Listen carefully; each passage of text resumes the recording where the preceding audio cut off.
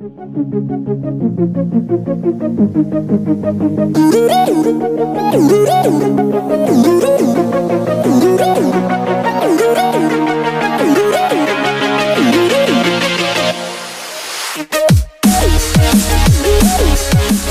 Mercedes-Benz Indonesia menutup tahun dengan meluncurkan SUV New GLS Rabu 3 November.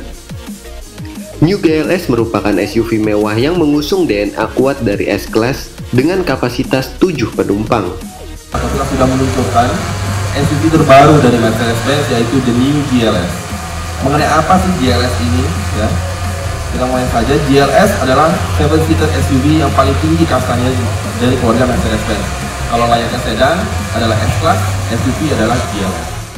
Wajah depan New GLS disematkan beberapa penyegaran seperti new front bumper, grill, dan underguard chrome. Soal kualitas pencahayaan, mobil ini dilengkapi teknologi LED Intelligent Light System.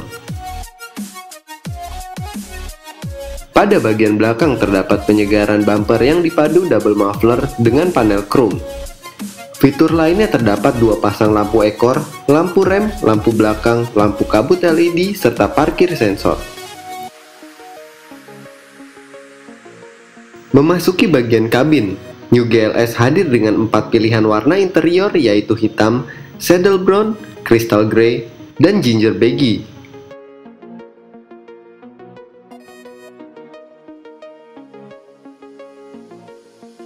Kabin bagian depan dilengkapi desain dashboard baru, serta roda kemudi dengan pedal shift dan tombol pengaturan audio.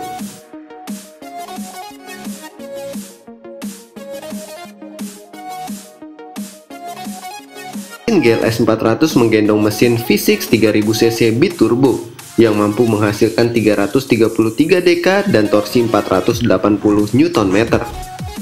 Mesin ini dipadu dengan transmisi 9G-Tronic yang merupakan transmisi otomatis yang baru dari Mercedes.